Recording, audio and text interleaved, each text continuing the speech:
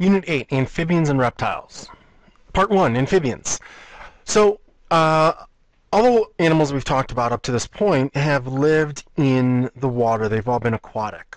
Um, the move to land, animals faced several physical challenges. Uh, number one, water uh, exhibits a buoyant force that counters gravity. So when you're in water, gravity is pulling you down, but water exhibits an upward force. Uh, therefore, when these animals moved out of the water onto land, they were required to move against gravity. Air is not buoyant like water is. Uh, therefore, we see one of the main adaptations, which is the adaptation of the limbs. Uh, limbs and a more complex skeletal and muscular system. Um, so our skeleton and muscular system needed to become stronger in order to help fight against that gravity.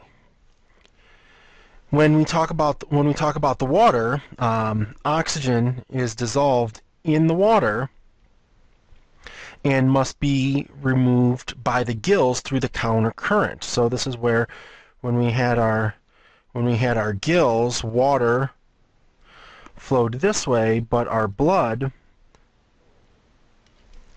flowed this way. Now, when we're in the air, oxygen is more readily available. Uh, thereby, with lungs, terrestrial animals can get oxygen from the air more effectively than they can in the water. The, another thing to keep in mind is that water retains heat, so the temperature of water does not change quickly.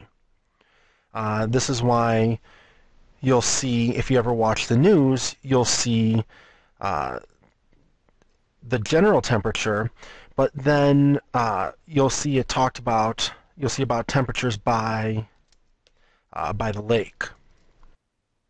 So what we're going to see is we're going to see air temperature changing much more easily than water temperature. So animals that move to land are going to have to combat this by developing behavioral and physical adaptations to protect themselves from these extreme temperature shifts. Sound also travels more quickly through the water. Um, and fish have their lateral line system, which picks up vibrations in the water, which are which are effectively sound waves in water.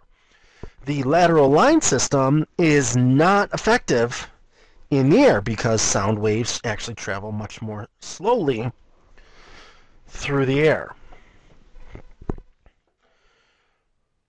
So when we talk about characteristics of amphibians, frogs begin their life cycles as a tadpole.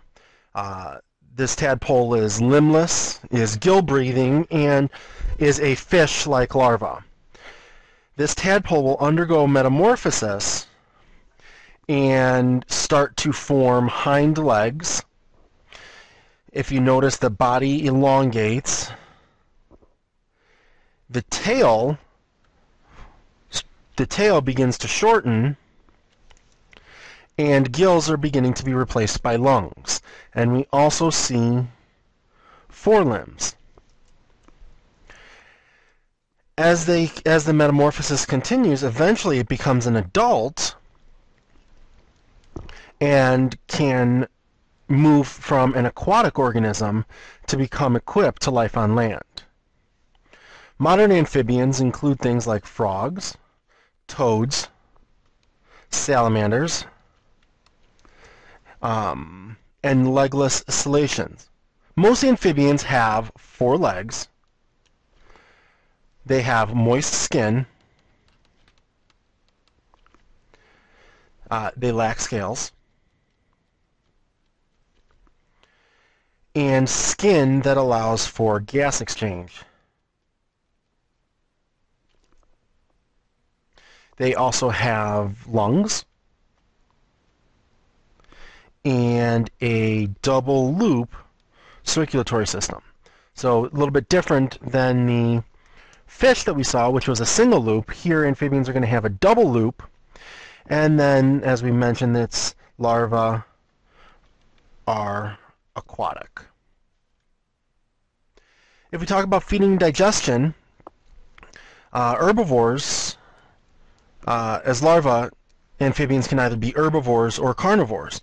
Frogs have larvae uh, that are herbivores, while salamander larvae are carnivores. Now, as these both become adults, they become carnivores. They are uh, essentially predators of insects and other small animals.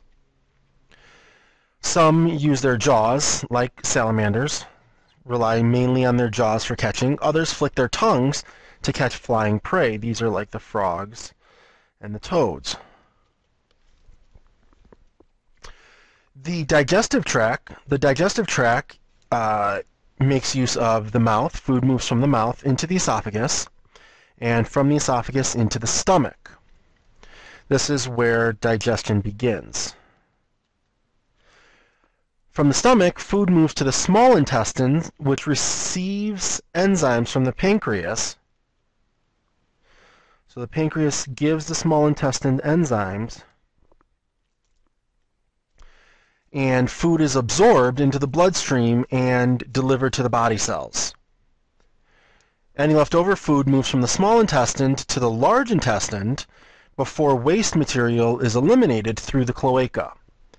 So now not only the food waste goes to the cloaca, but any urinary waste, urinary, urinary waste moves into the cloaca, digestive waste like we mentioned, and any reproductive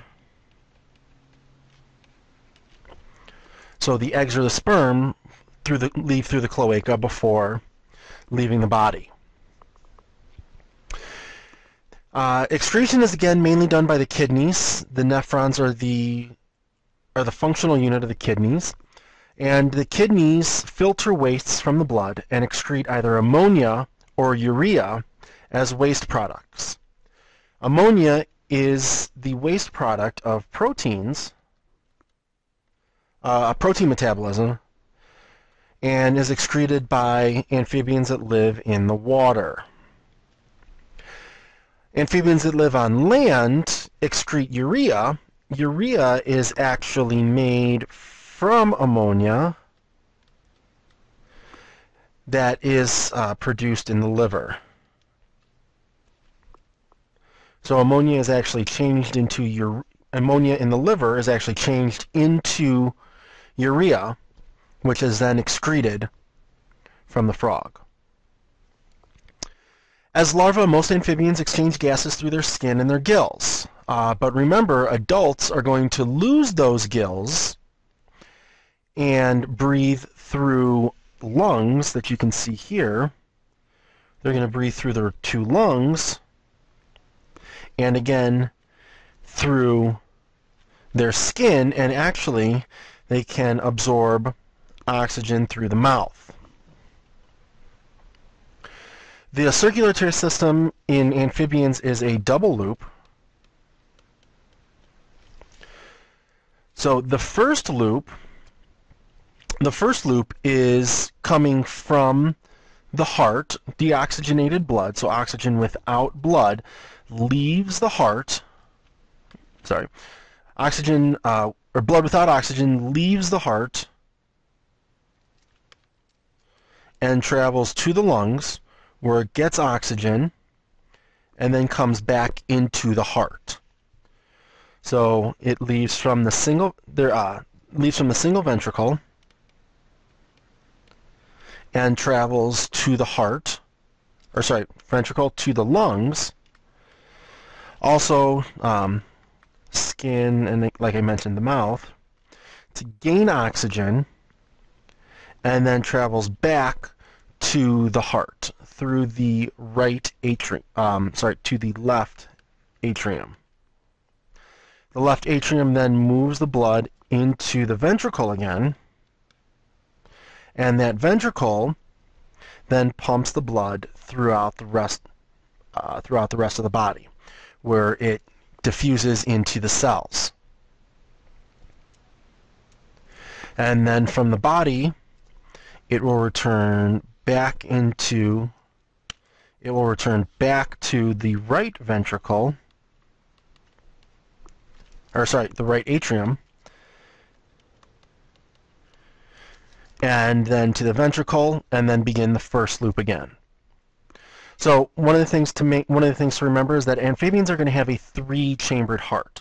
There are two atriums. There's a right atrium and a left atrium, and remember we refer to these based on the frogs from the frog's point of view. The right atrium receives deoxygenated blood, moves blood into the ventricle, and then the ventricle pumps the blood out to the lungs and to the skin. That blood then returns back into the left ventricle, or sorry, sorry. The blood then moves back to the left atrium, having oxygen into the same ventricle, but then pumped to the body. Uh, vision is going to be very important for most amphibians. They use sight to locate and capture prey that fly at high speeds and escape to escape predators. Uh, frogs have a structure called the nictitating membrane, which is structure S here. Now this nictitating membrane is a transparent eyelid that can move across the eye to protect it underwater. So it acts like a swim goggle. And uh, it also helps keep the eye from drying out when it's on land. Another sense, uh, taking the place of the lateral line, is this tympanic membrane. So the tympanic membrane here in T is an eardrum. It's a thin external membrane on the side of the head that's used to hear high-pitched sounds and amplify sounds from the vocal cords. So some other senses uh, include touch. They do have a sense of touch they have chemical receptors in the skin. They have taste buds on the tongue. And they have a sense of smell. Now, it's going to be important for amphibians to be able to sense the temperature change that occurs in the environment because they are ectotherms. T-H-E-R. They are ectotherms. Ecto meaning uh, that they're going to get their body heat from the external environment. Okay? Uh, their amphibians cannot regulate their body temperatures through their metabolism. So they have to be able to sense their body temperature, sense the temperature outside, and they can then go to a warmer place or to a cooler place in order to cool down. External fertilization occurs in uh, in amphibians. Um, external fertilization occurs in the water. So amphibians are still dependent on water for reproduction. These eggs that we see are not they're not covered. There's no shells here. And uh, with no shells, they are at risk of drying out. Eggs are covered with a sticky jelly-like substance that helps them stay anchored to vegetation in the water. So this is this picture is a microscopic view so we can see those eggs. And so this is any sort of aquatic plant that the eggs can that the eggs can um, stick to. Uh, after fertilization, the embryo, the developing embryo uses the yolk inside of the egg as nourishment until it hatches into a tadpole. Um, so now, if we look at, and you're going to see my wonderful, my wonderful drawing abilities again. So here is uh, my female frog. When the female frog uh, spawns, when she releases her eggs, the male frog is actually going to be on top of her and behind. So the male is going to latch onto the back of the female and release his sperm at the same time.